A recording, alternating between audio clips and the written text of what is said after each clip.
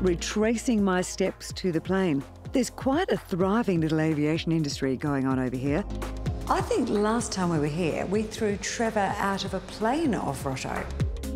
He landed safely, had a blast, skydive Geronimo if you're game. I'm thinking something a tad more graceful, yet equally as exciting. Onwards to our next adventure.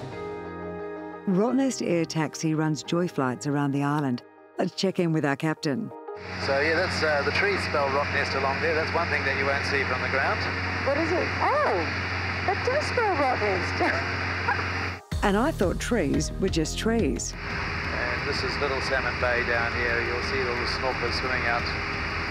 Well, now we're going along the southern side of the island out towards the west end. It's a lot more remote. a lot of, a lot of people don't actually get out to this part of the island. This 20 minute scenic joy flight includes two orbits around the island high up for an overview, then lower down for a closer inspection. It's a great way to see the beaches, the reefs, and the lakes.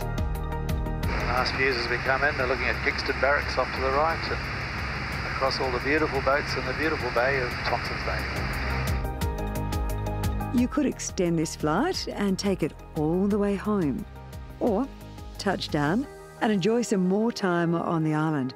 Awesome flight, great guide, and if he does stop speaking every now and then, it's for a good reason. If the pilot talks too much, I distract my passengers from all the views that are out there. Frank is very wise. No wonder he's been doing this job for 28 years.